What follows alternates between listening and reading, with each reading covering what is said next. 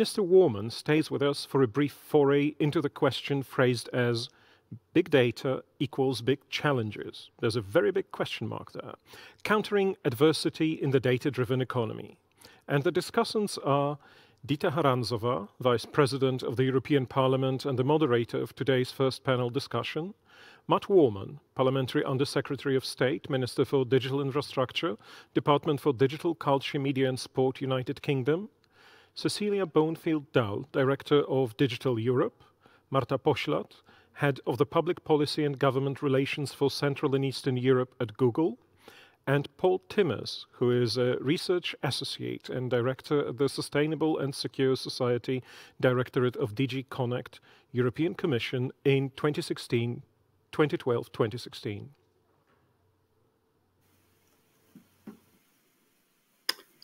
Hello, uh, Paul Timmer speaking. I hope you can hear me. Yes?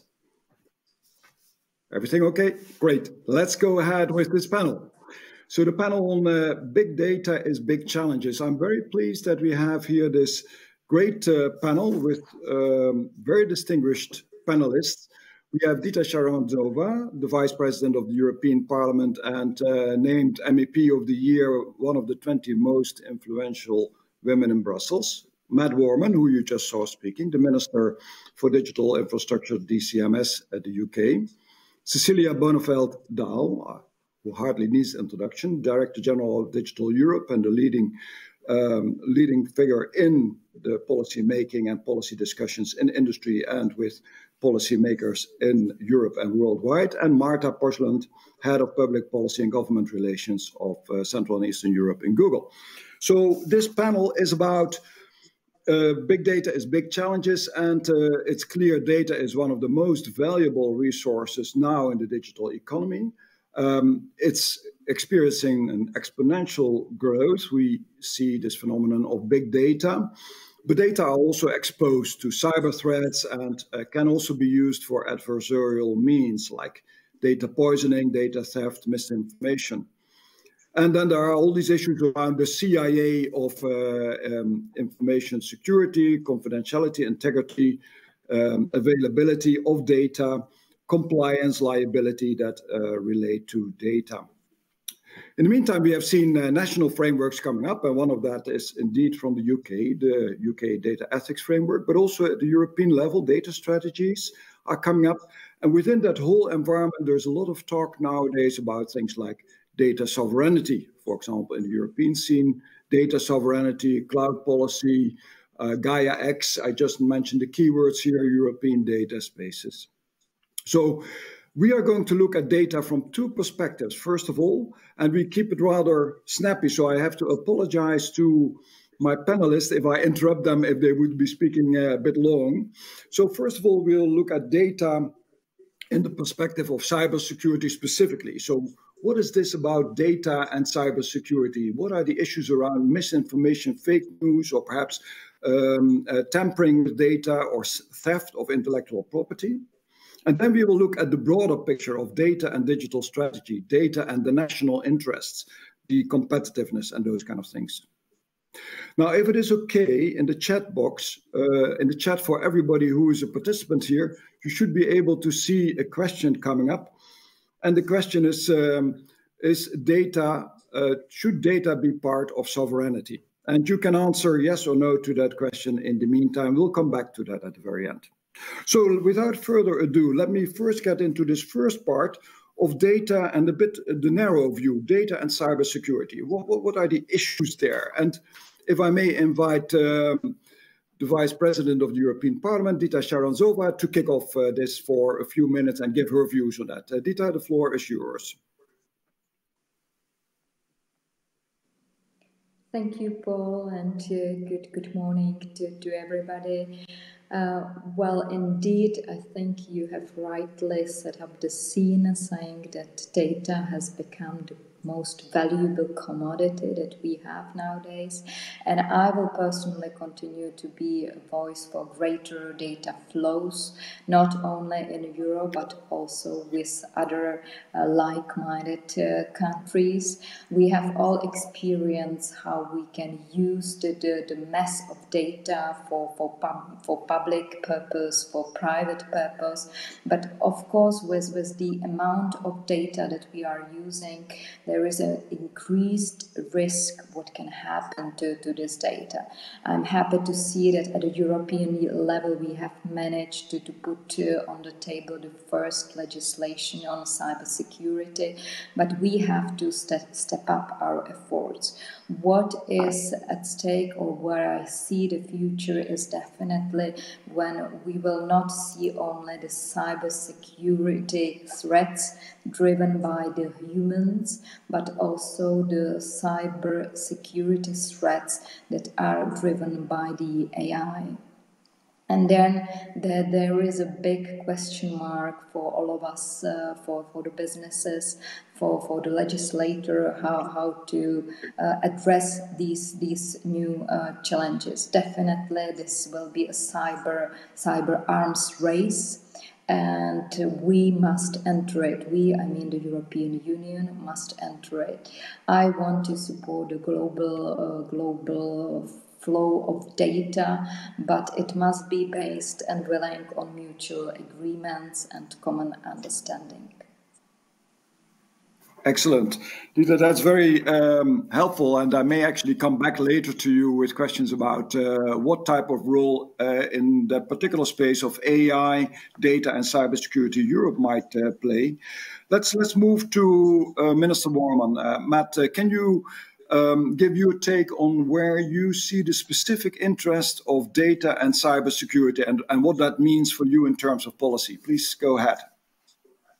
Well, th- thank you, and, and, and, thanks again for inviting me here today. Um, I think we'll hear about the vast potential for data to enhance societies and to fuel innovation and growth, but its effective use is obviously limited by a number of barriers, and that includes fears around safe and secure and ethical data use. So, so maybe I can begin with an example which demonstrates the enormous opportunities that we can uh, seize if we get these these things right. Um, in our early response to the pandemic, uh, there was a, an urgent need for clinical trials to be faster and more efficient while remaining ethical. And so, in a matter of days, we set up the recovery trial to meet that urgent need, and patient data held on electronic health records played a really crucial role in identifying and enabling people from across the UK to participate in that trial. And I just use this as one example, but you saw 12,000 patients from 180 hospitals, 176 hospitals enrolled in the trial, and that identified one of the world's first coronavirus treatments uh, proven to save lives, uh, dexamethasone, which was adopted in the UK in June. And, and that's not a standalone case, it's a real example of data being the driving force in the modern uh, economy. And, and to unlock the value of that data more broadly, I think we've got to ensure um, that the physical and cyber infrastructure underpinning it is safe and secure and resilient, and that people trust that data. So the COVID 19 pandemic has really highlighted the importance of resilient, trusted technology to our daily lives and the ability of people and businesses to move quickly online. Adopting new technologies and changing ways of working, I think, has been surprisingly fast for all of us. So, that shift has, of course, uh, not been without risk. We've seen criminals try and exploit the pandemic, which is why our, our own National Cybersecurity Centre has been so busy with the cyber awareness campaign. But we've also witnessed the absolutely critical role, uh, in particular, of the healthcare sector, and that's where, in some ways, trust is is most important. So we're uh, we've been supporting that sector, um, delivering uh, extra extra cash to support consultancy for uh, security in basic cyber. And it's really crucial, I think, that we access the data, that we manage our businesses and we go about our daily lives through safe and secure technology. Because not only is cybersecurity really important to ensure safe data and technology use, we also need to ensure uh, that the data, that the infrastructure that underpins that data is safe and secure. An interruption to data driven services and activities can cause real disruption to businesses, to organizations, and to public services. So I think government has a responsibility to ensure that data and its supporting infrastructure is secure and resilient in the face of uh, the established, the new, and the emerging risks. And, and it's only then that we can really see the economy grow. So, so just just briefly, that's why one of the five key missions in the UK's new national data strategy is to ensure security and resilience of the infrastructure on which data relies, and it commits the government to take much greater responsibility for ensuring that data is sufficiently protected when it's in transit or when it's stored in external data centers. Because the ability of government, businesses, organizations to share vital information quickly, uh, efficiently, ethically, securely during the pandemic is what's allowed us to function. It's what's allowed us to work from home, to educate our children, to shop for groceries, to do everything we need to do in a new and different way in this unprecedented crisis. So the UK government really wants to make the most of this moment. This is exactly what our recently published data strategy is. It's an ambitious, pro growth, pro innovation declaration of intent for the use of that data. And I think it's time for a mindset shift in the way we talk about uh, and think about data because we need to drive an approach that hold that holds something so that all of us can benefit when it's used safely, securely, and ethically, and understanding that withholding that data can really negatively impact society. And I look forward to talking about this on the rest of the panel. Thank you. Excellent, uh. Just a, just a quick question to you here. Uh, the UK came out with the National Data Ethics uh, Framework. Do you already have feedback how that framework is being experienced? How people are working with it? Do they like it? Does it work well? Uh, well, we have some informal feedback to that, yes, um, but mm. this is always a sort of ongoing thing. I, I think um, one, whether it's GDPR, whether it's the data ethics framework, whatever it is, these are all all things that can Im- improve, can be evolved, and I think we need to uh, bear that in mind. But the feedback initially has been pretty positive, and I think that's a good thing. Excellent. Thank you.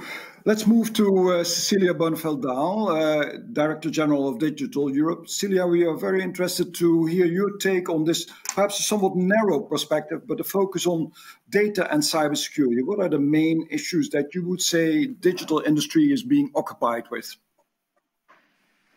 So just to make sure that you can hear me and see me, is everything okay? Yeah. Yeah. Super. Thank you. So um, I think we can. We have seen that uh, the European Commission has really put um, at the heart of the recovery uh, the whole data and digital agenda, and um, and rightfully so. And in fact, uh, last week we uh, we um, there was a communication from Ursula von der Leyen that they would um, dedicate 20% of the 750 billion euros that will be invested uh, in in European recovery uh, in the next year uh, to the digital um, to the digital development of Europe um, to basically uh, strengthen the resilience uh, on many aspects. Amongst are the cybersecurity, but not least also the capability of using data uh, across border and. Um, and this is something that has been in the making for a while. We have seen uh, the free flow of data. We have seen um, we have seen now the Cybersecurity Act, of course, which is now with ENISA and the harmonization of the cybersecurity um, certification frameworks on, amongst others, cloud solutions. So I think it's coming as a natural, uh, how can you say, uh, accelerated program um, to follow up on the things that has been in the making for quite a while, and and rightfully so. Um, it uh, i would say some of the things that really we are occupied with is to get that harmonization of the cybersecurity uh, certifications. We have very strong countries in, in in europe who are excellent at uh, at certification and has done this for years. And we have other countries that are you know has some serious catching up to do and that will be uh, crucial actually to have a common framework uh, of certifications to be able to uh, to prevent uh, cyber attacks and to be able to uh, protect um, uh, the consumers and, and, the citizens in the same way. Um, but still, uh, hopefully, we will also see that uh, this uh, this further investment fund will basically boost the speed of that, because we really need that. Um, as you all know, I mean, it is the data that we need to to protect and and the cybersecurity around the infrastructure and and um, and uh, and the products is is extremely important to actually make sure that uh, we don't have the, the, the attack spread so fast. So alignment on uh, national rules, and now also, of course, with, uh, with countries like the, the UK leaving, uh, strong international collaboration with some of the key partners. Um, and I think I want to highlight maybe that uh, the, one of the key things on both uh, on the data and the cyber. Uh, the international collaboration will be at the heart of the next um, uh, work for the next two years. Um, this is not the way we see it develop now. We have data adequacy decisions with Japan. We have, you know, the need for harmonization of rule sets in these areas is enormous. And of course, somehow that is when we talk about sovereignty, it's always been about national. But here we actually have an uh, we have an area that doesn't really care about the nation state. And uh, for businesses, um, of course, we do care about nation state, but more importantly, we care about a common re- a framework of trust, which puts a, a high demand on uh, governments to really align their um, cybersecurity and and data and privacy rules. Uh, so basically, we can create the growth and the poten- uh, um, leverage the potential of, uh, of, of data, the data economy. So for, for once, you can say yes, good uh, with sovereignty, but what we need is really a strong, strong collaboration and an understanding of a common framework uh, so we can protect um, the consumers, the citizens in a uniform way, also across nation states. Um, EU is working on this uh, very, uh, very thoroughly, um, but it's also very much needed to to collaborate uh, outside uh, Europe. Uh, Cecilia, perhaps a quick uh, specific question to you. You are involved in many of the groups that are looking at the development of digital policy. and uh, certainly uh, at the certification side, as you mentioned, but also you have been involved in the, the AI side. Do you think that these strands are well connected? Um, I think uh, I would say I think they will be on on the AI side, I mean, uh, uh, there's been a lot of uh, focus on ethics, and I think that's important. But I also think we need to move on from that now um, and really look at uh, one how we leverage AI, the AI potential, also in cybersecurity. Um, but uh, but also how we uh, I mean what are the different risk levels and really define risk in a very uh, well defined way because I see right now that the development the innovation and, and the leverage and the potential of AI is still slowed down because we still have this what is dangerous what is not dangerous. There is like 99.9% uh, of the things with AI is really leveraging benefits in health, in environment, and which is not dangerous. And then we we are still lacking this. What is high risk? How do we define high risk? And where are the, I mean, the ethical questions well placed? Um, because I would say in many cases, it's not about ethics. It's really about efficiency and benefits and uh, mm-hmm. and then we need to limit the discussions of ethics into the areas that are relevant to be discussed uh, in, in ethical terms. Yeah, yeah. Uh, it seems to be, by the way, a general theme. We need, really need to be clear what we are talking about. I also heard uh, others say that before. Let's move to Marta Poślad, Head of Public Policy and Relations, Central Eastern European Europe, uh, Google. Uh, on that question of um, the specifics on uh, cybersecurity and data, what would be your take on that? Thank you, Paul. Good morning, everyone. I hope you can hear me well. Um, I missed uh, the first few answers. Uh, six months of the pandemic and attempts to connect to stage video calls are a very good uh, example of why we're not at risk of taking of being taken over by the by the machines anytime soon. Um, but to your question, and after listening to what I managed to hear uh, from other panelists, I think we have two words here. One is security, another one is collaboration. On the security side, from Google perspective, where we are a steward of um, of all our users' data, we need to bear in mind that users expect security and privacy of their data, but they're not expert in it. And I think the scale is extremely important to understand. Just to give you a sense of it, just recently, for example, we detected that there are 18 million uh, malware or phishing messages uh, per day uh, on our platforms circulating across our users. And that is just next to, and that was just related to COVID 19. And that is next to 240 million spam messages per day that also regard COVID-19. So this is uh, this is the scale we're talking about, and this sends a message of necessity necessity of being very careful um, when we look at the ethics, when we look uh, at the regulation in the vein that Cecile just uh, talked about um, before before I did. Uh, second of all, collaboration is key. And that applies to cross-industry collaboration that applies to work to, to the work that is happening between companies and regulators uh, and, and governments.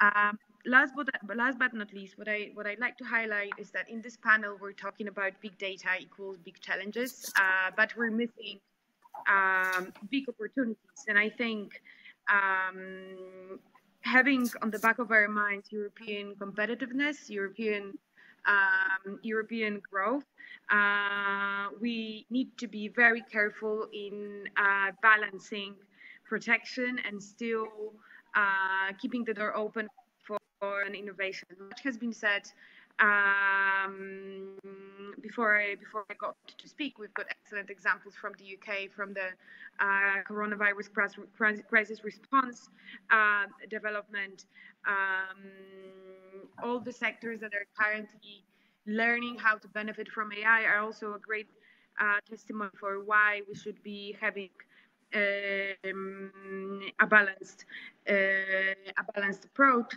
Um, something that was not mentioned just yet is uh, election, where is elections and protect protecting uh, protecting elections both for those who running them and those who uh, participate uh, them as voters, and that's a good example of of a, of a sensitive issue that needs to uh, that requires special attention. But it's also a great example of where you need to where, where you need to see different actors coming together to ensure that the process uh, meets the meets the demands and high standards of security um, and privacy.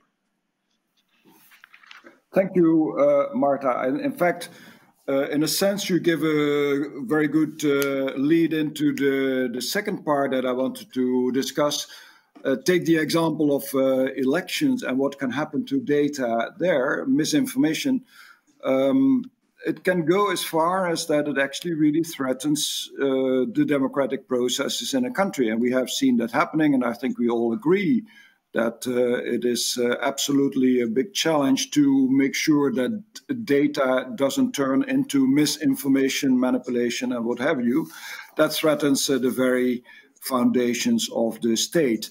Now, we will come back to that a bit more at the very end. And, and for the audience, I cannot myself see the chat, but I think you have the question that uh, is data, should data be part of sovereignty?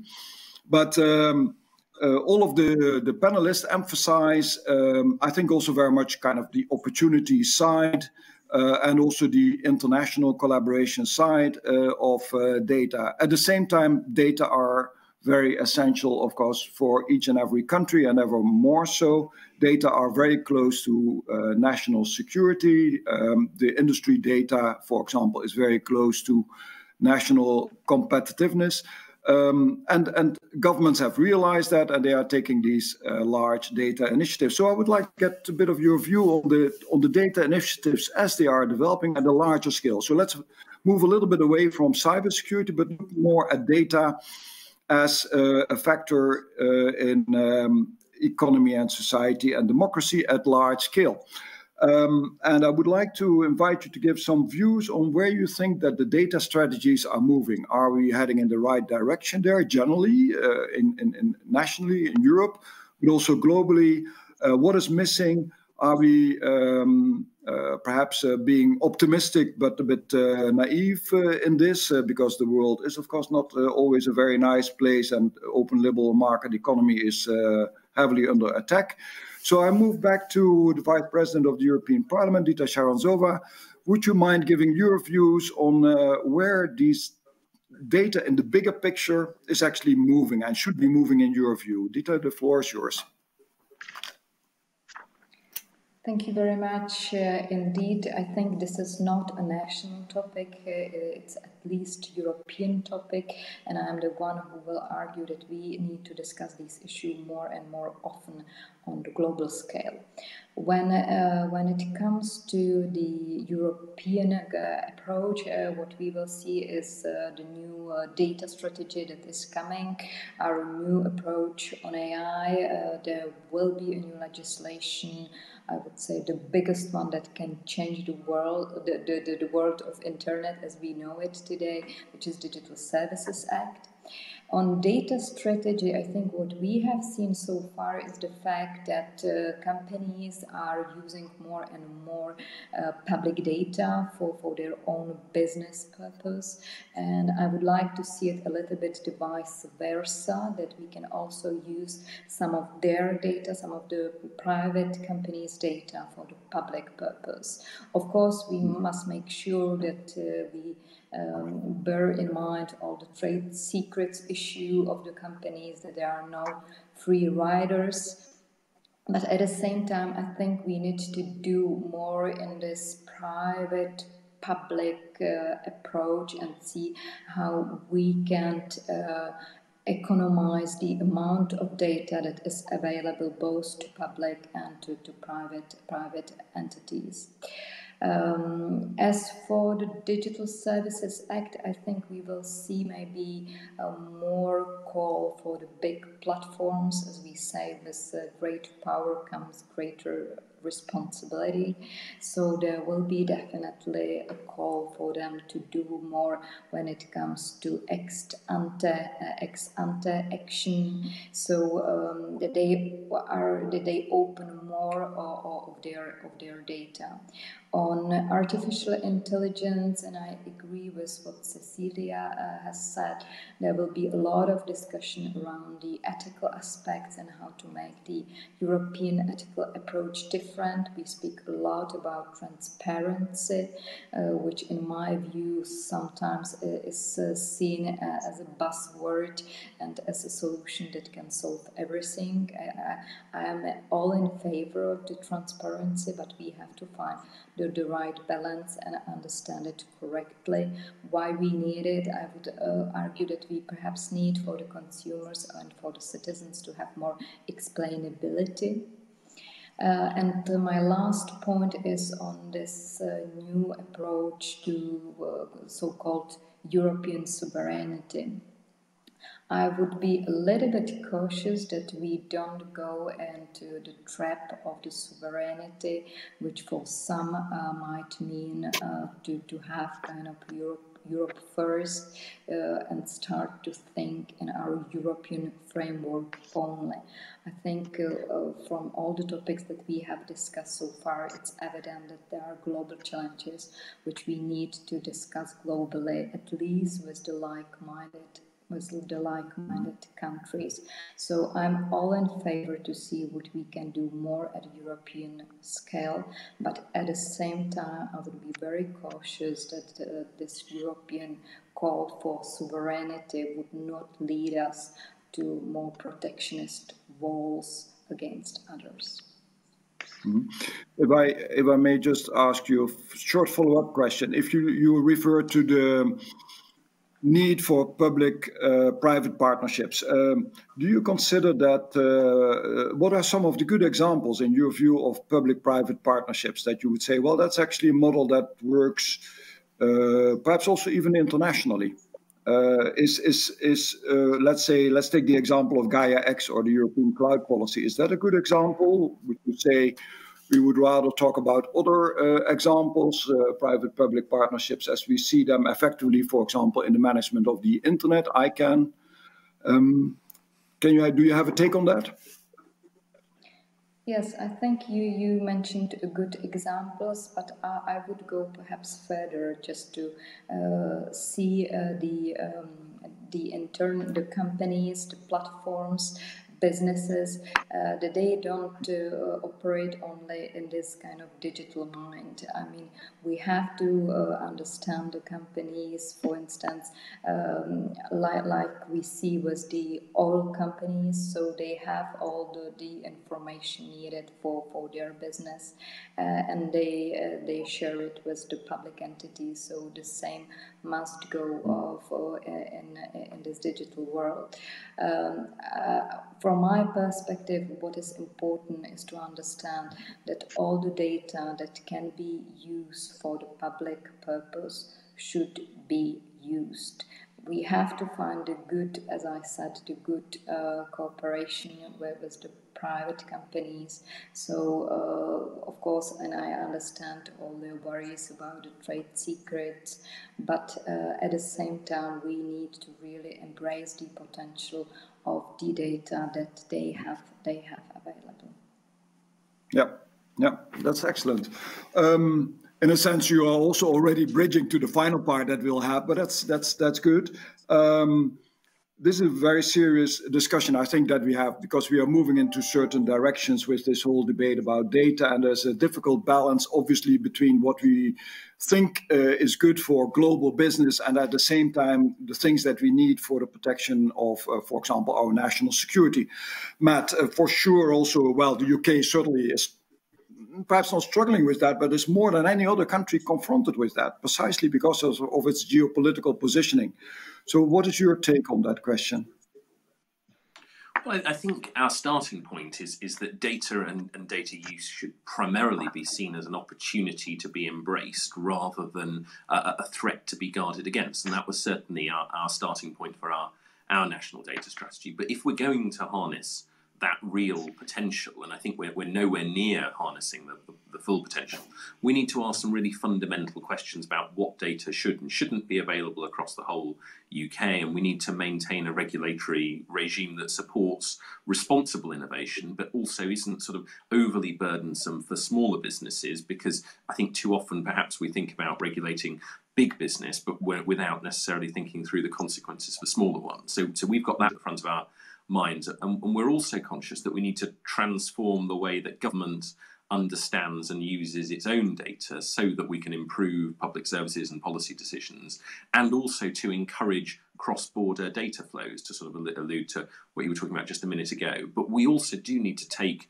the risks of increased data use uh, seriously, because I think there's a huge amount of room for improvement. Uh, so, so, we've got uh, in, in our first uh, national data strategy, we've got four pillars. Um, and the first is to get the basic foundations of data use right, which means it must be collected and stored in standardized ways that work uh, across today's systems, but are also future proofed to, to as much an extent as, as we possibly can, um, and that that data is of sufficient quality. Uh, second, the need to get the right mix of skills to make this happen. Uh, and throughout the economy, that means supporting the development of data skills right from the foundations through to the really serious technical expertise. Um, third, we need to uh, have the, the fundamental principle of wanting to make more data available through better coordination across the public, the private, and, and the third sector as well, as well as internationally. And, and finally, our, our fourth pillar that we need data to be used responsibly, responsibly and to be underpinned by trust. So that means collecting, storing, and crucially deleting data in a way mm. that is lawful, secure, fair, ethical, sustainable, accountable, all of those words that are really easy to say and really hard to deliver in the right combination. But I do think mm. those pillars are really key to unlocking the power of data for the UK, and they hold true uh, across other countries and, and, other regions as well. Um, but what we what we do think we have to do uh, is identify what that means, what delivering them means in practice. So we've got sort of five key things that we think will do that, and I'll, I'll just run through them very quickly. The first is to develop that clear policy framework that says what government interventions are needed. The second is is to make sure we have a data regime that drives growth and innovation while building trust. Um, and then to make sure that the benefits of better data use are felt across our public sector. We need to drive major improvements across government, and I think almost every country would say this, and, and that means developing common data standards, interoperable infrastructure, uh, and increase un- people's understanding of the benefits of data, crucially. Um, because I think with data now, a really critical part of modern life, the infrastructure underpinning it is a vital national asset, driving growth, supporting cyber resilience. And that's why that our fourth mission of those five is to ensure that the infrastructure on which data relies is safe and secure.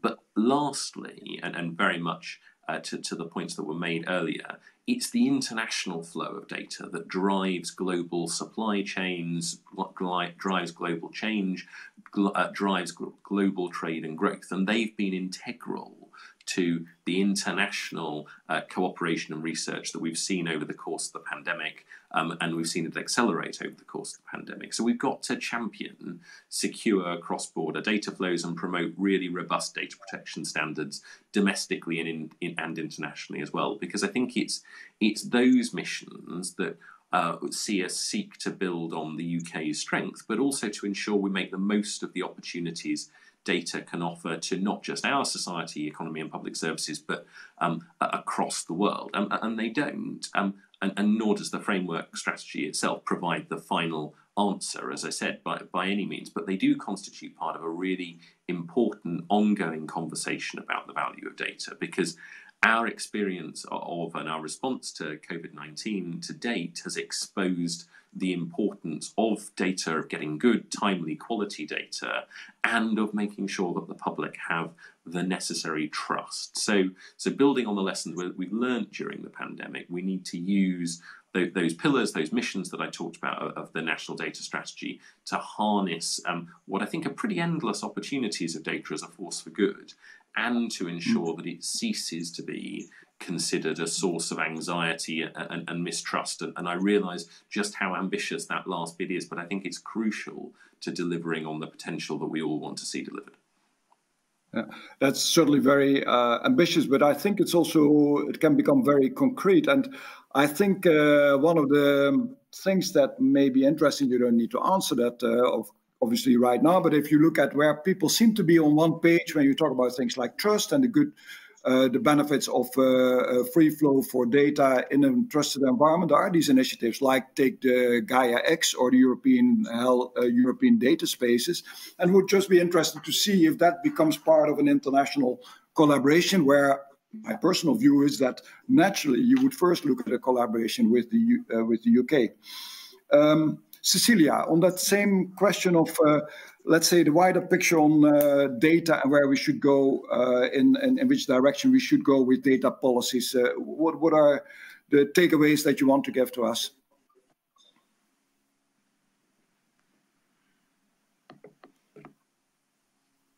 Your sound is not, we don't have your sound. All good? Yep. Very good. Yes, thank you. all good. Thank you. No, I said uh, thank and uh, thank you to Matt because I think you are you're spot on, and maybe there is no better time in history right now that we are very much aligned with the UK and the EU to pr- maybe practice on the relationship between UK and, and the EU to basically define that common framework because um, that trust right now, I believe, okay, we need to harmonize within the EU. The data strategy is there, but we really also need to uh, put the pressure on the on international. I said it before, but unless we have a common framework where we can basically can trust trust the cybersecurity in that internationally, we will not have a solution. The solution is not, uh, you know, limit everything on ground. The solution should be to aim for a common international, uh, you know, alignment on how we treat data security. Um, then uh, maybe going to the data strategy, I think that it, it's excellent. Uh, a data strategy or a strategy in general has to answer two things: the what and the why.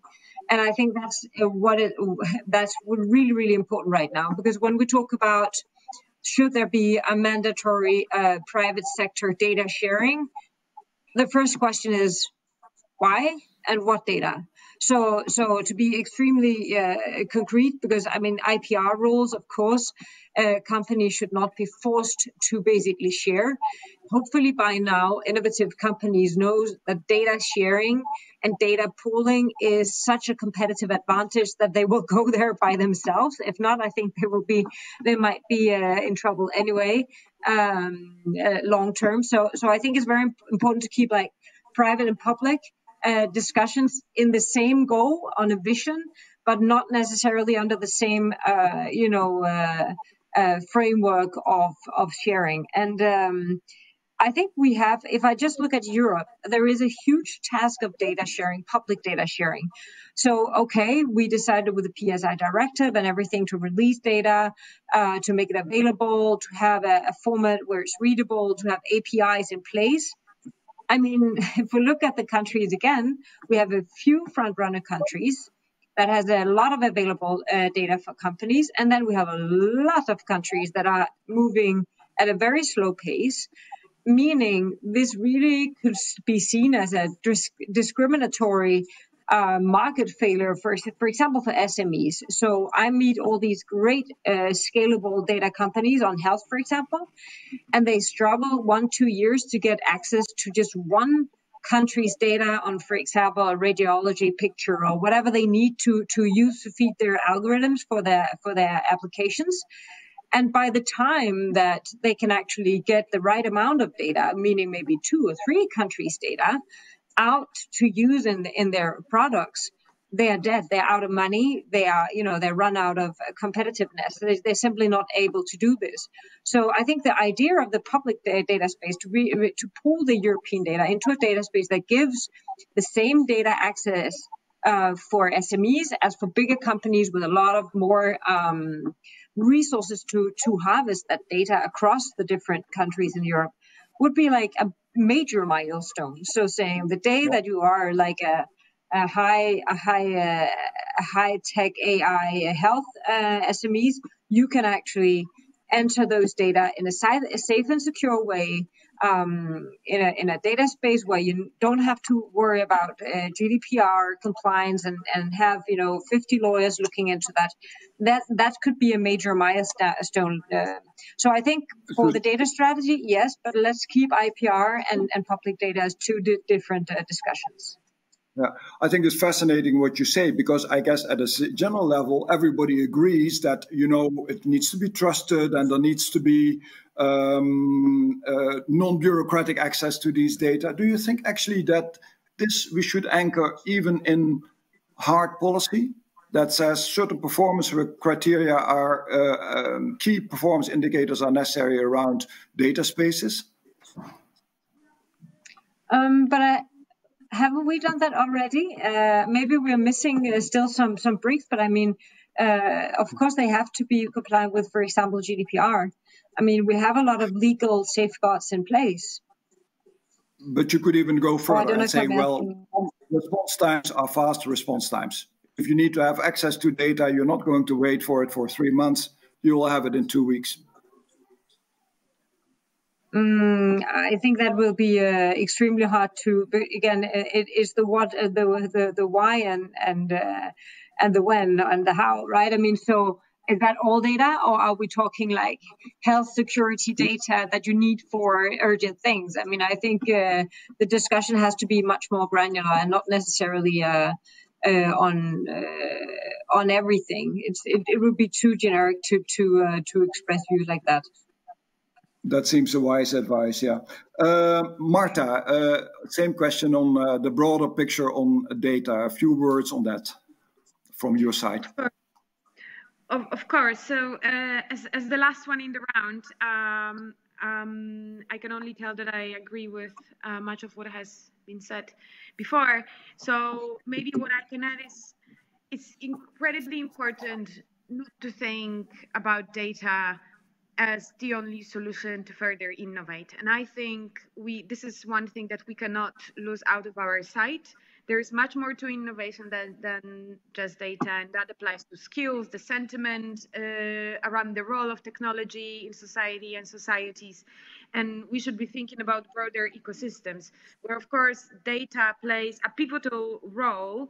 Mm, but this is not uh, this is not the uh, this is not the full um, answer. And there are a couple of things to, to, to say about data in the context um, of Google. First of all, Google prides itself in data portability. So making sure that users have control how they use their data, how they move it, how they move it around, uh, around which, uh, which which refers to what MEP Charanzová said at the very uh, the very beginning about various options through which uh, data um, could be uh, could be collected. At the same time, we truly believe that uh, we need to be extremely careful uh, and cautious and and keep caution against far-reaching uh, regulations around uh, data sharing. There needs to be uh, clarity in objectives, and the rules need to be clear um, clear in scope.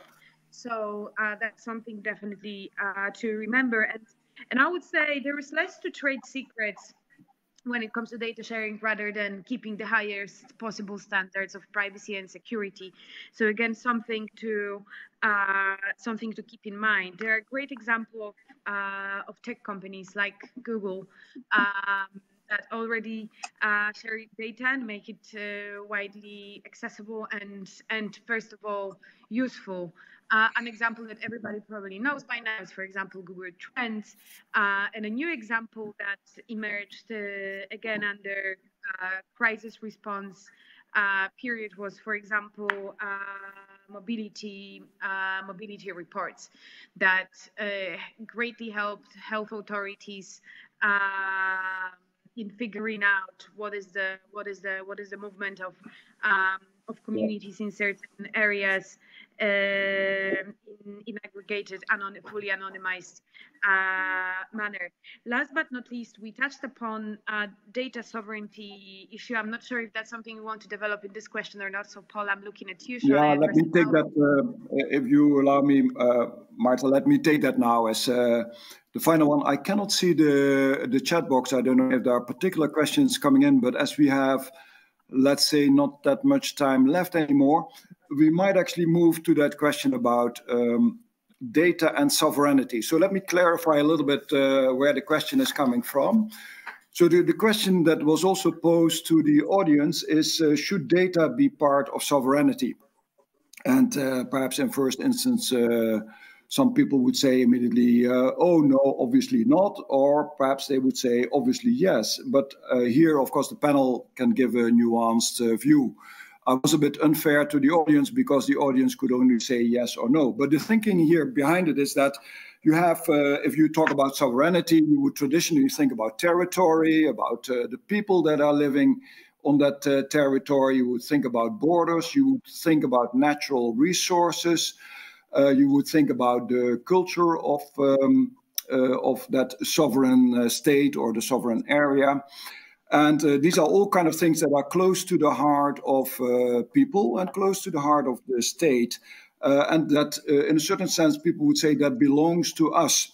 And for data, something similar is, has been said. For example, I think it's South Africa that says, for example, you're not allowed to export the genome of our people outside the country because it's from us. And certainly that holds for certain uh, countries that want to protect uh, their uh, plant and, and fauna uh, life, and they consider that a national asset. Uh, you might say, for example, the data of public administrations is, is something that is a national asset. And so, if you look at the answers that the public has, the audience has been giving here, um, interestingly, two thirds actually thinks yes, uh, data should become part of the notion of sovereignty. And this is not the same as data sovereignty, yeah? but it's really more in the sense of data is something that belongs to the sovereign state or to the sovereignty of the people. And uh, one third says it's not the case. But uh, as said, this is not a very fair question, so a bit more nuanced answers from uh, the panelists uh, appreciated here. Dita, I give you first the floor. Is data to be part of sovereignty? Thank you, thank you very much. Uh, yes, I think that data um, can be part of sovereignty, uh, but but for me it must be still a part of or based on the free free trade because as I said we sometimes use the sovereignty discourse here in Europe and for some it means really uh, to, to build more walls in. Europe and uh, have a protectionist uh, approach. Uh, I have personally spent one year of my life fighting for free flow of data in Europe. I'm happy to see that we don't have these national limitations and obstacles in Europe anymore. And I would continue to be the voice also to have more free flow of data with, with other countries, uh, especially nowadays, because what, what we see, just to simplify the world we are living in, that we have kind of two two kind of uh, data families. Uh, one is the, the, Chinese, and the second is everyone else. And what we share, and I leave maybe it's very simplified approach because of course everyone else it's not us, Russia and Iran together. But if I leave Russia and Iran uh, apart, I think what we share in common us, UK and United States, it's the cultural basis, it's uh, the long term history. And I think the whole is also translated in the, in the digital world. So I would very much argue for strengthening the ties also in the digital. And I'm all in favor, as I said, building uh, European sovereignty if it's based on the, on the global trade. That's that's very interesting. Dita, would you say recently? I think there was an interview with uh, Thierry Breton, the commissioner responsible for digital and industry and defense, uh, and he said that uh, European data should be stored and processed in Europe. It belongs to us. Is that an expression you think? Uh, uh, can you live with that expression, or would you say be careful because this may lead to protectionism? Well, the devil is always in the detail, as I said.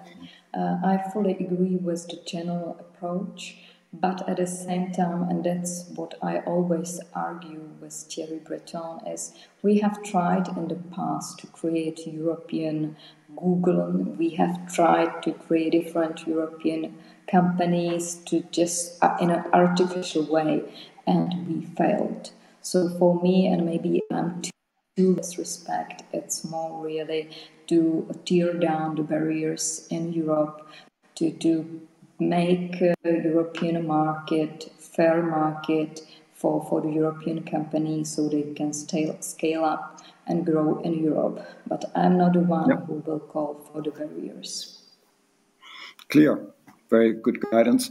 Uh, Matt, uh, from your perspective, is data part of sovereignty?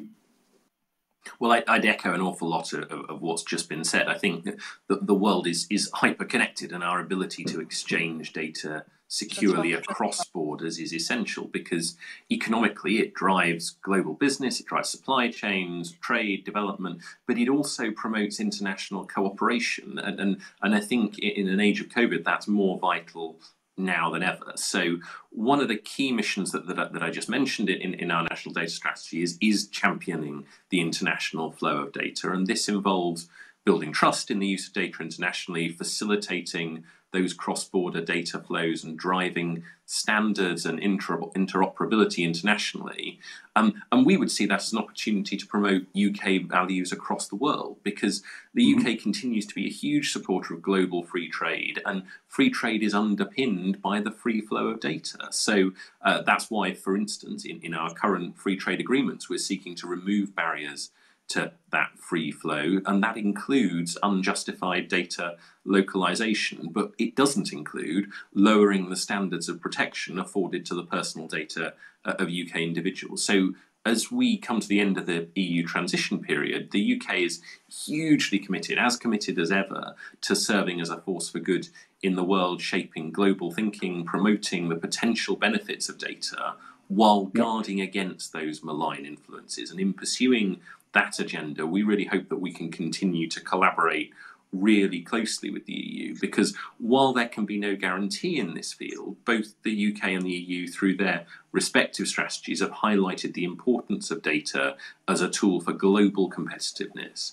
And as with all policy areas, the UK will, will want to control our own laws and our own regulations in line with our interests, but we'll want our data protection law to remain fit for purpose and to support the future objectives of, of the UK within the world. So that that's why I think, and I, th- I, think this does echo a lot of what, what Dita said, that we, we want a high quality regime that promotes growth and innovation and underpins trustworthy use of data. And, and laws will inevitably develop uh, as technology and business practices and, and the needs of citizens change. But in terms of obstacles, there are challenges in providing the right incentives and, and environment for cross economy sharing and collaboration and ensuring the responsible and ethical deployment of increased data use, as well as the promotion uh, of homegrown technologies, will require us to avoid practices such as that unjustified data localization. Yeah, thank you, Matt. That's very clear, also very helpful. Cecilia, a few words from your side on the data and sovereignty issue, but let's, uh, I see that the clock is running. Uh, just briefly, your, your main take on it.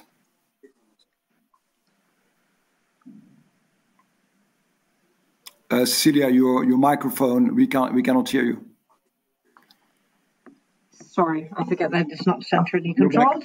Uh, so, uh, so sovereignty uh, basically means the authority of a state to govern itself, and I, and uh, and I think uh, every state uh, that would have serious security issues with something, you know, will will honor that principle, and they already do now. And having said that, let's absolutely limit that concept to the security discussions. And then, of course, right now we are in a kind of an interim, hopefully, knock on wood, I'm a positive uh, person, interim period on data governance uh, alignment globally. So we are, have aligned now in Europe, we have the GDPR.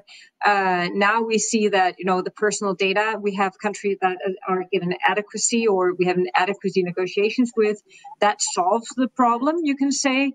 Um, but basically, uh, this is we need to continue that path of aligning uh, data access, data protections uh, to make sure that we can, we can basically uh, develop a common framework.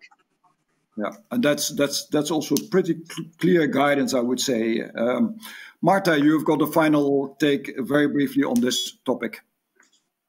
So, just uh, you know, the discussion about sovereignty exists in a certain context that is political, economic. We are at a given at a, at a given point in history, so I think we cannot escape. Uh, we cannot we cannot escape that context. Context while in an academic discussion, we could prob- probably find more pro arguments for data sovereignty. But looking at uh, where we are at this given uh, time, I would like to actually quote the words of the moderator of this panel, um, and, and, and, and two concepts that uh, you, Paul, mentioned once in a, in a political article, which resonate with me and I think, and generally at Google the most. Looking at strategic interdependence and working with like-minded countries should be the guiding principle, bearing in mind the context in which we, um, in which we operate. I think uh, we also need to looking at all the trends that are, that exist in the European digital ecosystem, we also have to be very realistic about the fact that that uh, European population is only 10% of global population. If we want to come up with global solutions, if we want to be part of the big Europe, big global um, competition and game, uh, we also need to bear in mind that as that we need to be um, at the same time welcoming to, to to to other ecosystems, but at the same time uh, going out there and and to benefit from uh, other ecosystems yeah. uh, as well.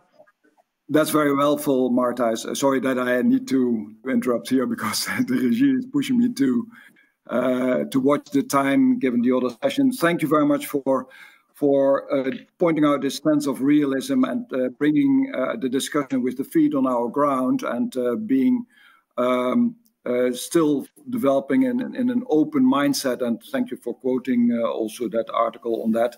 I was a bit surprised about uh, the response from the audience. Two thirds says data is to be part of sovereignty, and one third says no.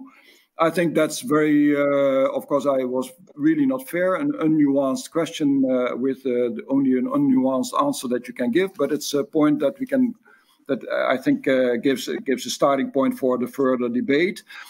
I found this a very interesting session, a great panel. Um, I love to continue this type of discussion with you much more in depth because I think in Europe we are really in need of these views that bring us uh, much further and go uh, bring us away from the theoretical discussion, as a matter of fact, to something that really workable policy um, and and executes the policies that we have today in a workable way. Very positive note also in this panel. So great thanks uh, from my side and the organizers to your participation, and I wish you um, an interesting continuation of the day and of this conference. Thank you very much.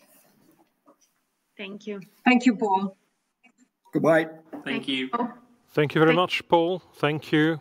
Much is being done at the European level, but there still seems to be plenty to be done as well, especially as far as the regulations and steps to be taken are concerned. Of course, steps to be taken about the invisible and yet very material data. I hope you noticed that we've asked you for opinion and Mr. Timmers was quite surprised that the question whether data becoming an element of sovereignty, just like territory, national resources, and population, should, according to 64% of you, be a part of our sovereignty, and therefore we were left with just 36% saying no. Well, this is the broad picture for today.